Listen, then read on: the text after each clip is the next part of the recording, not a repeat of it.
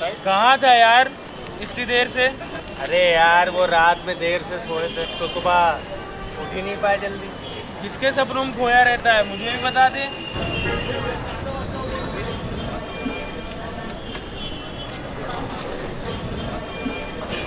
जल्दी चल अच्छा। हाँ हाँ